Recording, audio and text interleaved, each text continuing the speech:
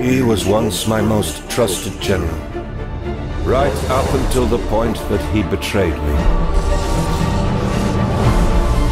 Zamorak may be weakened, but he is far from defeated.